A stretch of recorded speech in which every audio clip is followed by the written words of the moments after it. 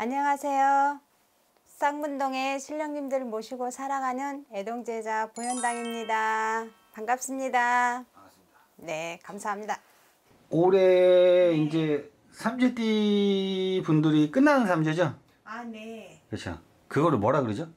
나가는 삼재라고 합니다. 그렇죠. 네. 그러면은 네.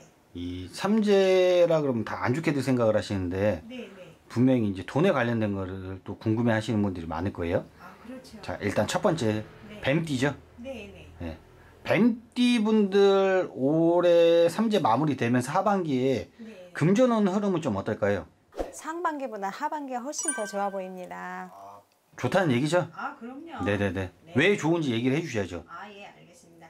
33세 기사생 뱀띠에 대해서 말씀드릴게요.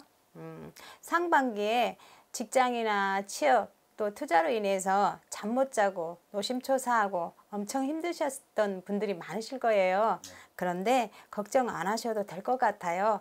또 나가는 삼재이고 하니까 항상 조심하시면서 하- 살아가시다 보면은 하반기에는 또 직장 취업 뛰거나 아니면 투자도 또 좋은 금전운이 돌아왔기 때문에 목표하고자 하는 대로 금전을 잡을 수 있을 것 같습니다. 힘내세요. 33세 뱀띠 분들 그리고 45세 정사생 뱀띠 분들 이분들은 대체적으로 이동하는 거나 변동수 정말 많았어요. 상반기 때요. 그러는데 본인 생일 달력까지는 몸수를 조심하시면서 살아가시면 좋을 것 같고요.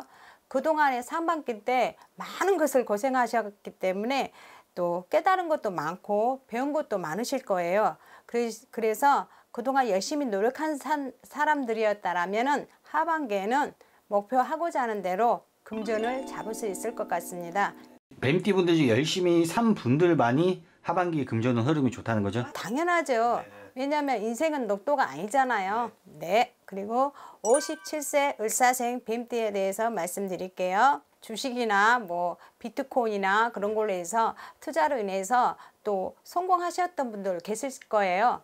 그런데 하반기에는 돈을 벌기보다는 돈을 유지해가고 지켜가심이 좋을 것 같아요. 왜? 뒤늦게 또 남들 하니까 나도 해보자는 식으로 뒤늦게 따라가는 그런 실수는 안 하셨으면 좋을 것 같고요. 그리고 지금 갖고 계신 분들 금전, 재물 지켜가시면서 또 건강 조심하시면서 살아가시다 보면은 좋을 것 같습니다. 그리고 가진 게 있다고 해서 팔랑기 되지 마시고 절대 보증 같은 건 안 하셨으면 좋을 것 같습니다. 여기까지 2021년 삼재띠 하반기의 뱀띠 금전운 흐름에 대해서 말씀드렸습니다. 100일 된 애동제자 보현당에서 말씀드렸습니다. 행복하세요.